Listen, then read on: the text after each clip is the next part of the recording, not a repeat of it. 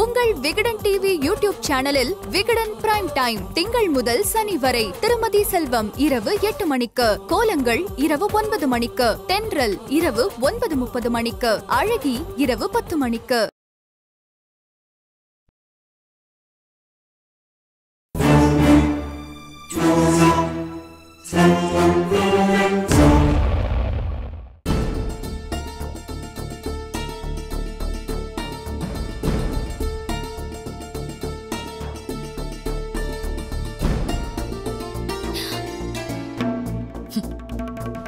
ஏன் தான் சக்தி இப்படி மாறினாரோ? அவரை நான் ரொம்ப நல்லவர்னு நினைச்சேன். இவ்ளோ சீப்பா நடந்துக்கிறாரு. ரம்யா சக்தியை பத்தி தப்பா பேசாத. அவன் காரணம் இல்லாம எதையும் சொல்ல மாட்டான். அப்போ? அவர் சொன்ன மாதிரி ருத்ரன் தான் ஷாலினி குத்த வந்தாருன்னு சொல்றியா? ஏன்? ஏன் இப்படி இருக்க கூடாது என்னங்க நீங்க? நான் எங்க அப்படிலாம் பண்ணோம்? எனக்கு ஆரம்பத்துல இருந்தே உன் மேல சந்தேகம் இருந்தது. அதுக்கு தகுந்த மாதிரி தான் இப்ப எல்லா விஷயமும் இங்க நடக்குது. அக்கா கண்டவங்க சொல்றதை நம்பி இவரை சந்தேகப்படுறியா? டேய் யாரு கண்டவங்க? சக்தி இல்லைன்னா இன்னைக்கு நீ உயிரோடவே இருந்திருக்க மாட்டேன். அந்த மீனா கிட்ட இருந்து உன்னை காப்பாத்தினதே சக்தி தான் மறந்துட்டியா?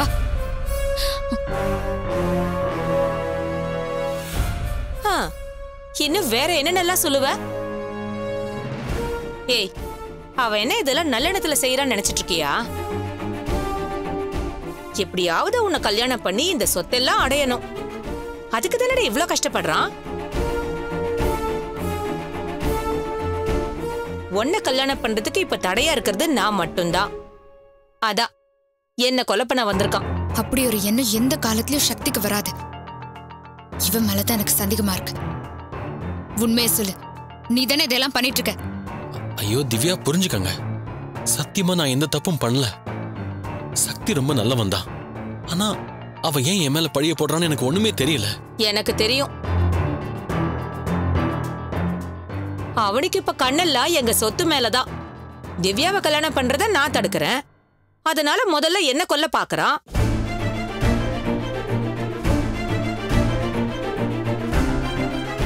இப்போ நீ ரம்யாவை கல்யாணம் பண்ணிக்க போற. சொத்து முழுசா கிடைக்காம போயிடும்னு ஓ மேல பழிய போட்டு உன்னை எங்க வீட்ல இருந்து விரட்ட பாக்குறான் பரவாயில்ல. நம்மளை விட ஷாலினி கிரிமினலா யோசிக்கிறா. இவ இருக்கிற வரைக்கும் நாம எதுக்கும் கவலையே பட வேண்டாம். ஷாலினி அக்கா நீ சொல்றது சரியா இருக்குமோன்னு எனக்கே இப்பதான் தோணுது. ஆ, அதுல ரம்யா அன்னைக்கு சக்தியை நம்ம மீட் பண்ணப்ப ஒரு சண்டை வந்ததுல்ல? அதான் எல்லாத்துக்கும் காரணம். ஏதோ முன் கோவத்துல ஷாலினி நீங்க குத்த வந்தீங்கன்னு ஒத்துக்கங்கன்னு சொன்னேன். அப்ப கோவத்துல சட்டையை பிடிச்சிட்டாரு? அப்புறம் என்ன? அதான் காரணம். உண்மையை சொன்னதும் அவனுக்கு கோபம் வந்துருச்சு. பழிய ஓ மேல திருப்புறான். ஏ திவ்யா இப்ப புரியுதாடி அவனோட லட்சணம்? என்ன புரியணும்? இது ஒரு காரணமா? செய்யாத தப்ப செஞ்சதா சொன்னா யாருக்கா இருந்தாலும் கோவம் தான் வரும். எங்க அப்ப நியாயப்படி எனக்கும் கோவம் வரணும்லங்க? எந்த தப்பும் செய்யாத என் மேல மட்டும் இப்படி ஒரு பழிய தூக்கி போடுறாரு? நான் தப்பான ஆளுங்க கூட இருந்தப்போ கூட யாரையும் கொலை பண்ற அளவுக்குலாம் போனது கிடையாது. அக்கா நீ சக்தியை நல்லவர ஆக்கணும்னு ருத்ரனை கெட்டவர ஆக்க பார்க்காத. யார் எப்படின்னு எனக்கு நல்லாவே தெரியும். சக்திய பத்தி நீங்க என்ன தப்பா சொன்னாலும் நான் நம்ப மாட்டேன். காதல் உன் கண்ணை மறைக்குது. வேற என்ன சொல்றது? எங்க எல்லாருக்கும் அவனை பத்தி நல்லாவே தெரியுது. ஆனா உனக்கு தான் புரியல. கடைசியில அழுதுகிட்டு நிக்க போறது நீதான் திவ்யா. இத பாரு நீ நம்பு நம்பாம போ. ஆனா இன்னும் மூணு நாள் தான் அவனுக்கு டைம் அதுக்கப்புறம் நீ அவனை பார்க்கணும்னா ஜெயிலுக்கு தான் போகணும். ஏய் நீ வா. ஆ, ருத்ரன் நீ. நீ போ ரம்யா. இங்க ஹெச்ஆர் என்ன கூப்பிட்டாங்க அவங்கள போய் நான் பாக்குறேன் வா.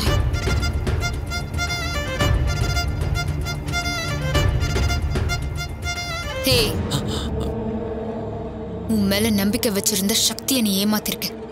யார் உன்னை நம்பினாலும் நான் உன்னை நம்ப மாட்டேன். உன்னால என் குடும்பத்துக்கு ஏதாவது ஒன்று ஆச்சு நான் என்ன வேணாலும் பண்ணுவேன். ஏங்க?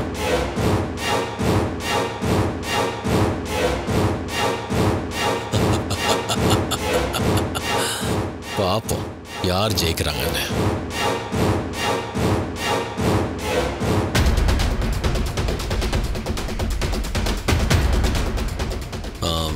விக்ரம் நான் உன்னை உடனே பார்க்கணும் ரெஸ்டாரண்ட்டுக்கு வந்துடு. ஓகே சீக்கிரம்.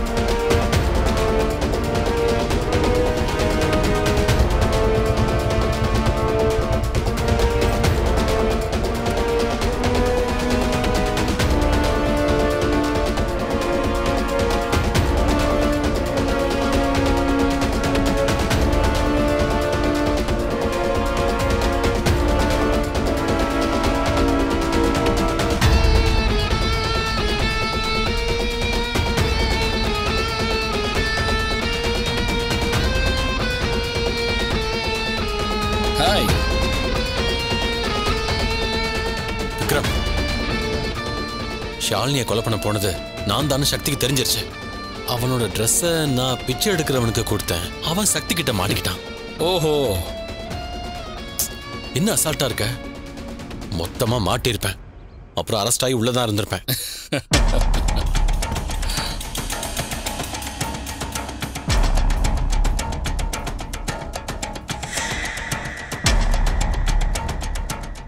டென்ஷனா இருக்க. முதல்ல ஜூஸை குடி. டேய் என்னடா நீ? நானே மாட்டி தப்பிச்சு வந்திருக்கேன். எப்படி தப்பிச்ச? என் நேரம் நல்லா இருந்திருக்கு. அந்த பிச்சை எடுக்கிறவன் மனநலம் சரியில்லாதவன் போல. அவனை ஹாஸ்பிட்டல்ல இருந்து வந்து தூக்கிட்டு போயிட்டாங்க. அப்படி ஆள் அமிச்சு தூக்க வச்சதே நான் தான். நீயா? உனக்கு எப்படி சக்தி அந்த பிச்சை எடுக்கிறவனை கூட்டிட்டு வருவான்னு தெரியும்? நேற்று நீ பாண்டிச்சேரியில் இருக்கும்போது கால் பண்ணனே அப்பவே சொன்னேன்ல? சக்தி எனக்கு கால் பண்ணி நீ எப்போ வருவேன்னு விசாரிச்சான்னு. ஆமா. அப்பவே எனக்கு லேசாக டவுட் வந்துருச்சு. அதான் நம்ம ஆளை விட்டு சக்தியை ஃபாலோ பண்ண சொன்னேன். சக்தியும் பிரபுவும் அந்த பிச்சைக்காரன்ட்ட பேசினது எனக்கு தெரிஞ்சிருச்சு. உடனே நிஜமாவே மென்டல் ஹாஸ்பிட்டலில் வேலை பார்க்குற ஆளை வச்சு ஹாஸ்பிட்டல்லேருந்து ஸ்டாஃபை வர வச்சேன். சூப்பர் விக்ரம். முத தடவையா இப்பதான் ஒரு விஷயத்த கரெக்டா பண்ணிருக்க. டேய். சும்மா சொன்ன விக்ரம். ஏதோ ஜஸ்ட் மிஸ்ல தப்பிச்சு வந்திருக்கேன்.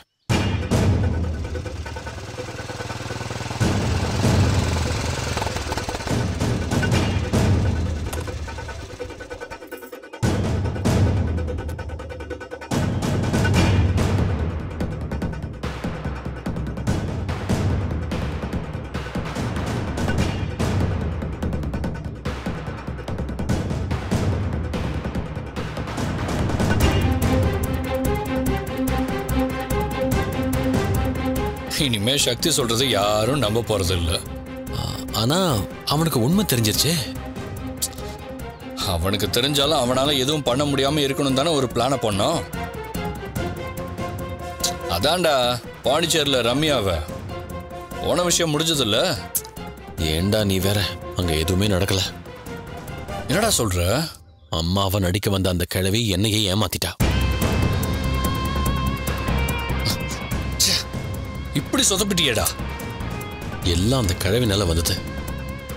சரி விடு எப்படியும் கல்யாணம் நடக்க தானே போகுது. அதுவும் இல்லாம இன்னைக்கு நான் ஹாஸ்பிட்டல்ல வேலைக்கு சேர்ந்துட்டேன். ம் அதுவும் நல்லதுதான். டீலர்ஸ்லாம் ரொம்ப அவசரப்படுத்துறாங்க. மார்க்கெட்ல பிசினஸ் குறைஞ்சிக்கிட்டே வருது. ஹாஸ்பிட்டல் பேர்ல சீக்கிரமே சரக்கை வர வைக்கணும். நான் உள்ள இருந்துகிட்டே அந்த பிசினஸை பண்ணுவோம். யார் நினைச்சாலும் தடுக்க முடியாது. டேய் விக்ரமோட சேர்ந்து தான் இதெல்லாம் பண்ணிக்கிட்டு இருக்கான் விக்ரமுக்கு தான் வேலை செய்யறான்னு ப்ரூவ் பண்ணாலே போதும். மச்சான் மொபைல்ல ரெக்கார்ட் பண்றா.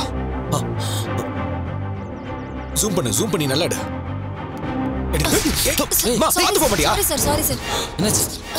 கூட்டு போங்க. ருத்ரா சக்திடா. என்னை ஃபாலோ பண்ணி வந்திருக்கானுங்க. நீ கிளம்பு நான் பாத்துக்கிறேன். சரி சரி.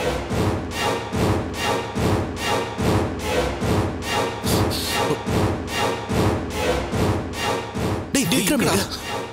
விக்ரம. காணோம். டேய் வாடா போடா. நல்டா ஹேய் சக்தி. இங்க எங்கடா வந்த? அது நான் வந்து என்ன பொய் சொல்லலாம்னு யோசிக்கிறியா? டேய் நீ விக்ரம் கிட்ட பேசிக்கிட்டதை நாங்க ரெண்டு பேரும் பார்த்துட்டா? நான் ஏன் யோசிக்கணும்? நான் விக்ரமோட தான் பேசிக்கிட்டு இருந்தேன். நான் பொய் சொல்லலையே. அப்படியா? ரொம்ப நல்லவன் வல்லவன்லாம் சொன்ன இப்ப இவன் கூட சேர்ந்து அடுத்து என்ன பண்ணலாம்னு பிளான் பண்ணிட்டு இருந்தியா? நான் ஏன் பிளான்லாம் பண்ண போறேன்? நீ நினைக்கிற மாதிரி நான் இல்ல சக்தி. நீ என்ன தப்பாவே புரிஞ்சுக்கிட்டு இருக்க. டேய் அப்ப இவனை எதுக்குடா பார்க்க வந்த? நான் அவனை பார்க்க வரல. சாதாரணமா இங்க ஜூஸ் குடிக்க வந்தேன். இங்க அவன் இருந்தான். திரும்ப வேலைக்கு வான்னு சொல்லி கூப்பிட்டான். முடியாதுன்னு சொல்லி திட்டி அனுப்பிட்டேன். இது என்ன நம்ப சொல்றியா? அது உன் இஷ்டம் சக்தி. ஆனா நீ ஏன் என் மேல பழி போடுறன்னு சுத்தமா புரியல சக்தி. என்ன? இன்னும் நீ சுத்துறதையெல்லாம் நம்புவேன்னு நினைச்சியா? டேய் பாவம் ரம்யா. அவளை ஏமாத்திட்டு இருக்கேடா ஹேய் நீ தப்பா புரிஞ்சுக்கிட்டு இருக்க. நான் ரம்யாவை உண்மையிலேயே லவ் பண்ற சக்தி. நீ எப்ப இப்படி மாறின சக்தி? பரவாயில்லடா. இன்னும் அப்படியே மெயின்டைன் பண்ற. ஆனா உன் நிஜ முகம் எனக்கு தெரிஞ்சிருச்சு. சீக்கிரமே அந்த முகத்தை எல்லாருக்கும் வெளிச்சம் போட்டு காட்டுறேன். இல்ல சக்தி நான் சொல்றது நிறுத்துறா நீ யாருங்கிறத காட்டிட்ட. இனிமே நான் யாருங்கிறத நீ பார்க்க போற. ஃப்ரெண்டா உண்மையா இருந்தா உயிரை கூட கொடுப்பேன். ஆனா நடிச்சு ஏமாத்திருக்க. நீ நினைக்கிற எதையும் நடக்க விட மாட்டேன்டா. நீ செஞ்ச தப்ப ப்ரூவ் பண்ணி உன்னை ஜெயில தள்ளுற போடா. சக்தி ஏய் போடா.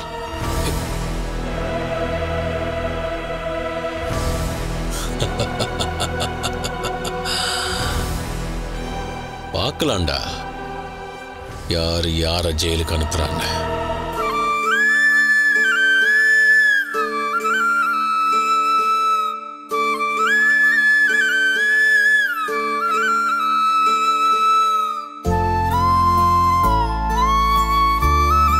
இந்தா.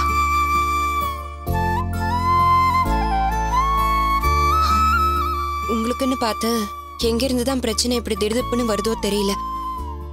எனக்கு எதை நம்புறது நம்ப கூடாதுன்னே தெரியல அண்ணி. என்னை சுத்தி நடக்கிற எதுவுமே எது உண்மை எது பொய்ன்னு கூட தெரியல. நீ சக்தியை நம்புறல்ல? அவனை மட்டும்தான் இப்ப என்னால நம்ப முடியும். யார் அவனை நம்பலைனாலும் பரவாயில்ல. ஆனா நீ மட்டும் எப்பவுமே அவனை தப்பா நினைக்காம இருந்தாலே போதும். கண்டிப்பா. சக்தியை பத்தி எனக்கு தெரியும். எனக்காக அவன் எவ்வளவு கஷ்டப்பட்டிருக்கான்னு தெரியும்.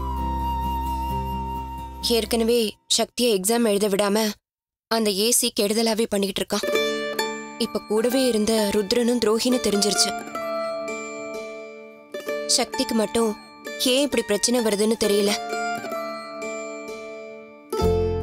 எனக்கும் அதான் நீ கஷ்டமா இருக்கு. ஒரு பிரச்சனை முடிஞ்சா இன்னொரு பிரச்சனை ஆரம்பிக்குது. இதெல்லாம் எப்படி கடக்க போறோம்னு எனக்கு தெரியல. வாடா. சக்தி. ஹாய் திவ்யா. சாரி சக்தி. ஹாஸ்பிட்டல்ல ரம்யாவும் ஷாலினியும் உன்னை ரொம்ப திட்டிட்டாங்க. அவங்களா திட்டலையே. அவங்கள அந்த அளவுக்கு ருத்ர நம்ப வச்சிருக்கான். நான் அதனால தான் ஆரம்பத்துல இருந்தே சொன்னேன். எனக்கு அவன் மேல ஏதோ சந்தேகமா இருக்குன்னு. நீ தான் அவனை முழுசா நம்பின. ஏன் தப்புதான்? அவ்வளோ சீக்கிரம் அவனை நம்பியிருக்க கூடாதா. அன்னைக்கு என்ன கொல்ல வந்த விக்ரம் கிட்ட இருந்து அவன் என்ன காப்பாத்தினான். அதனாலதான் அவனை முழுசா நம்ப வேண்டியதாயிடுச்சு. நீயும் நானும் நம்பி ஏமாந்ததுல இப்ப எதுவும் ஆக போறதில்ல சக்தி.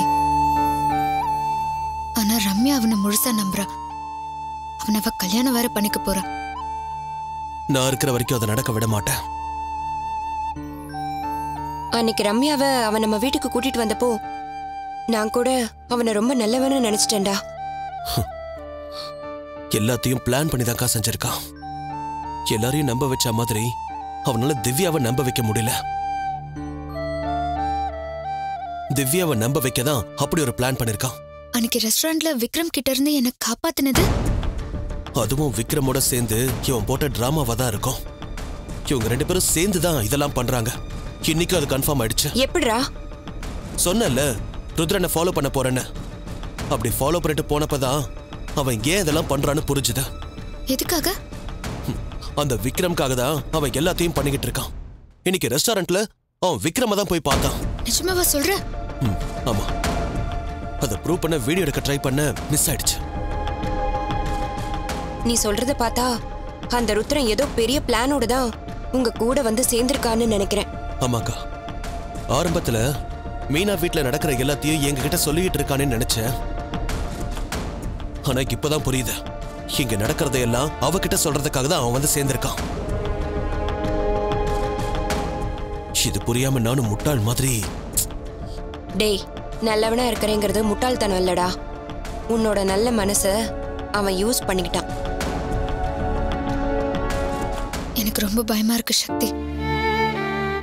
அவனை ஹாஸ்பிட்டல்ல வேற வேலைக்கு சேர்த்துட்டேன். இவன் ஹாஸ்பிட்டல்ல கண்டிப்பா ஏதாவது பிரச்சனை பண்ணுவான். ஏ திவ்யா அப்புறம் எதுக்கு அவனை இன்னும் வேலையில வச்சிட்டு இருக்கீங்க? உடனே அவனை வெளியே துரத்தலாம்ல? அது முடியாது அண்ணே. ஷாலினியும் ரம்யாவும் அவனுக்கு ரொம்ப சப்போர்ட்டா இருக்காங்க. கையில இப்ப எதுவுமே இல்ல. ஆதாரத்தோட அவனை பத்தி ப்ரூவ் பண்ணா மட்டும்தான் அவனை பத்தி அவங்களுக்கு புரியும். அந்த பிச்சைக்காரனை வச்சு கண்டிப்பா இன்னைக்கு அவனை பத்தி புரிய வச்சிடலாம்னு நினைச்சேன். ஆனா கடைசி நேரத்துல மென்டல் ஹாஸ்பிட்டல் ஆளுங்க எப்படி வந்தாங்கன்னே தெரியல. ஒருவேளை உங்க பிளான் பத்தி முன்னாடியே தெரிஞ்சு அந்த ருத்ரன் தான் ஏதாவது பண்ணிருக்கணும். இப்போ அடுத்ததா என்ன பண்ண போற சக்தி? முதல்ல அவனுக்கும் விக்ரமுக்கும் இப்பவும் கனெக்ஷன் இருக்குன்றத ப்ரூவ் பண்ணணும். அதுக்கு ருத்ரனோட காலை ட்ரேஸ் பண்ண சொல்லி பிரபு கிட்ட சொல்லிருக்கேன். அவன் ருத்ரனோட கால் லிஸ்டோட கொஞ்ச நேரத்துல வந்துருவான். டேய் கமிஷனருக்கு தான் உங்களை நல்லா தெரியும்ல. அவர்கிட்ட சொல்லி இவங்களெல்லாம் உள்ள பிடிச்சு போட வேண்டியதானே சக்தி. நம்ம கிட்ட எதுக்குமே ஆதாரம் இல்லக்கா. எவிடன்ஸ் இல்லாம இப்போதைக்கு ஒண்ணும் பண்ண முடியாது. சக்தி. டேய் வாடா. ஏய் என்னாச்சு?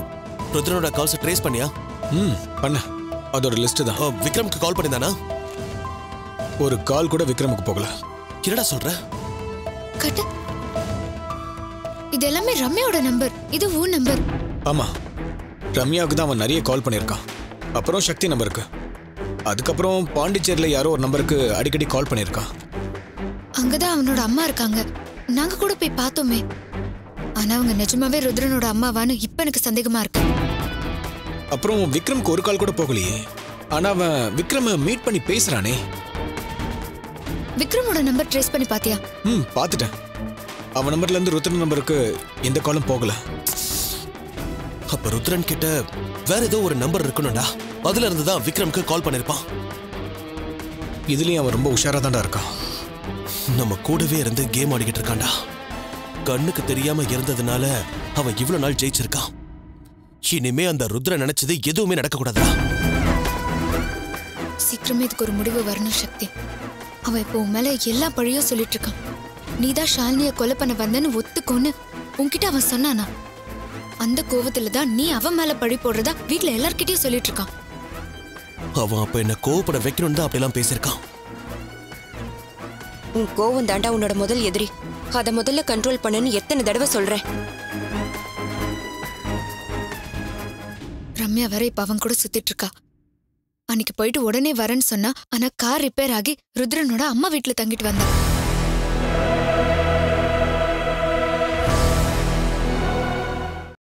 இருங்க இருங்க எங்க போறீங்க? நாளைக்கு எபிசோட கரெக்ட் டைம் பார்க்க வேண்டாமா? அப்ப கீழே இருக்கிற சப்ஸ்கிரைப் பட்டனை பிரஸ் பண்ணுங்க. மறக்காம பக்கத்துல இருக்கிற பெல் ஐக்கானையும் பிரஸ் பண்ணுங்க. நாங்களே உங்களை தேடி வருவோம். பாய்